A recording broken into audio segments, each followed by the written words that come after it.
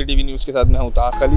इस वक्त हम लोग मौजूद हैं इदारे तरक्यात कराची में। इदारे तरक्यात कराची का एक बहुत बड़ा इदारा है। इदारे तरक्यात कराची समझना बेस करता है कराची के इंफ्रास्ट्रक्चर पे तो जब तक इदारे तरक्यात का जो इदारा है वो ख़ुद बेहतर नहीं होगा कराची, कभी भी बेहतर नहीं हो पाएगा इसीलिए यहाँ पर हम मौजूद हैं। Employees union C B A के जो है वक्त के साथ मौजूद हैं। इनसे बात करेंगे कि इनकी क्या कोशिशें हैं सी बी ए को मुलाजमीन के मसाइल हल करने के लिए और क्या कोशिशें हैं इनकी जो है वो कराची की आवाम को सहूलत फराम करने की ग्रांट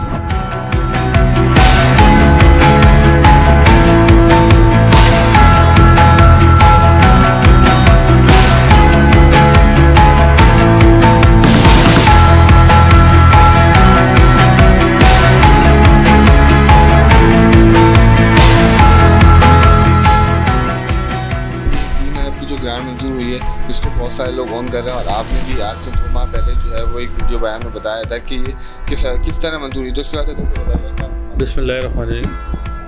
अब देखिए ऑन करने को तो किसी भी कामयाब चीज़ को कोई भी खड़ा हो जाता है कि यार ये हमारे जद्दोजहद से या हमारी अमली उससे कामयाब। ऐसा नहीं।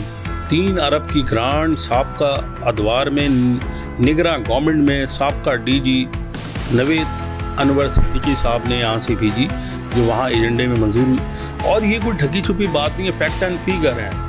ये तमाम चीज़ें रिकॉर्डेड हैं और रिकॉर्ड पे मौजूद हैं। उस वक्त हमने मीडिया टॉक की और इस बात को उजागर किया और मैंने ऑन किया कि ये employees union C B C B A की, मुतहदा कौन पाकिस्तान की सिफारिशात पे तीन अरब की ग्रांट भेजी गई थी और एजेंडे में वो मंजूर हो गई। और उसका क्रेडिट उस वक्त के डी जी नवेद अनवर सिद्दीकी साहब को जाता है। बहरहाल क्रॉस फंडिंग आगे बढ़ी और उसे मशरूत कर दिया गया सेलेक्टेड गवर्नमेंट से कि जो मुंतखब गवर्नमेंट आएगी, वो इसको मंजूर करेगी। तो मुंतखब गवर्नमेंट आई और उस पर जो इस वक्त के मौजूदा मिनिस्टर हैं सईद गनी साहब और उनकी क़्यादत ने और सिंध गवर्नमेंट इंतज़ामिया ने उसको मंजूर किया, जिसके लिए हम उन सब के इंतहाई शुक्रगुजार हैं।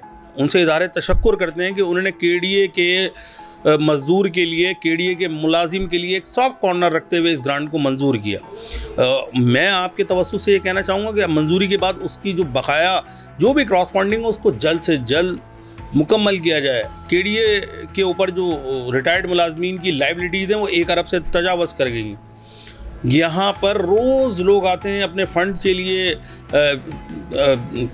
पेंशन के लिए किसी की बच्ची की शादी है किसी के घर में कोई और प्रॉब्लम है वो धक्के खा रहे हैं। वो उनका हक है वो उनका जायज़ पैसा है। और एम्प्लॉज़ यूनियन सी भी है मुला हर के डी ए के हर मुलाजिम के जायज़ मसाइल की हल तलबी के लिए एक कदम आगे खड़ी है। अच्छा मैंने भी देखा के डी ए में जो ट्रांसफ़र पोस्टिंग चल रही है इसको किस तरह देखते हैं? ये रूटीन पार्ट ऑफ़ रूटीन देखें ट्रांसफ़र पोस्टिंग ये तमाम काम इंतज़ामिया का है ना। हाँ अगर हम वहाँ देखते हैं कि जब आप नॉन कैटर या ओपीएस अफसर लगाएँगे तो सीबीए फिर वहाँ तैयार खड़ी है।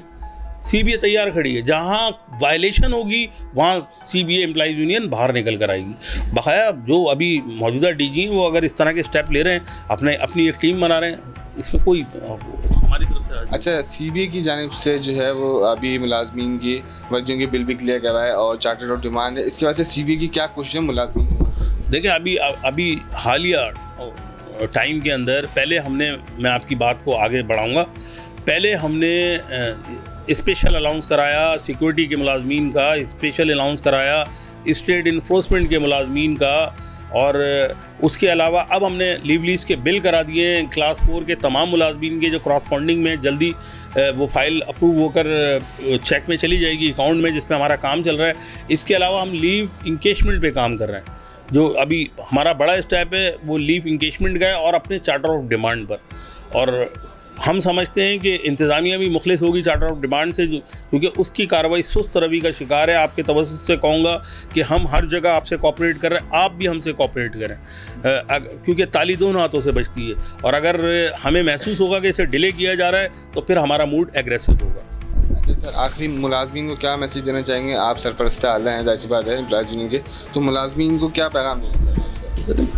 मुलाजमीन को के डी ए के 90 percent मुलाजमीन employees union C B A Muttahida Qaum Pakistan के साथ जुड़े हुए हैं। उसका अमली सबूत रेफरेंडम में उन्होंने बैलेट के ज़रिए दिया।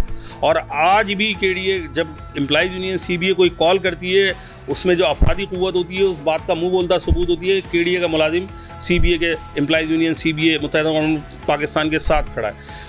और मैं आपके तवसत से मुलाजमीन से सिर्फ़ इतना ही कहूँगा कि आप जानते हैं कि हम जीत कर भी यहाँ गवर्नमेंट में नहीं हैं। यानी कि शहरी जो इलाके हैं, उनमें जीतने के बाद भी हम गवर्नमेंट के अंदर नहीं है, नहीं हमारा कोई मिनिस्टर है यहाँ पर जो हमारी दाद रसी कर सके।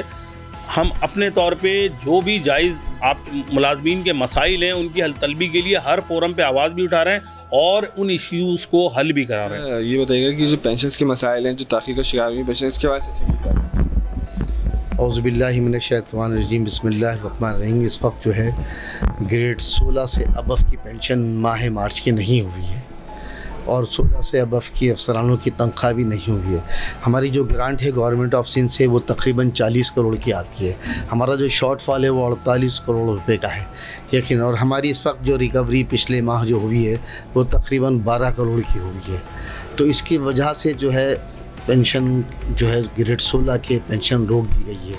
अब यकीन ग्रांट आएगी तो उसमें पेंशन को अदा कर दिया गया है। लेकिन हमारी गेडी इंतज़ामिया से बार बार ये शिकायत रही है, हम इंतज़ामिया से ये कहते हैं कि हम कब तक ग्रांट पर चढ़ते रहेंगे। आप हमारी रिकवरी को क्यों नहीं बढ़ाते? हम 12 करोड़ की रिकवरी पे आ गए हमारी एक वक्त ये था कि हमारी रिकवरी 19 करोड़ रुपये भी गई थी 20 करोड़ रुपये भी गई थी। तो ये बहरहाल इंतज़ामिया को सोचना चाहिए, कोई ऐसे ज़ख़ायर सोचने चाहिए कि जहाँ से ज़रा आमदनी में इजाफ़ा हो।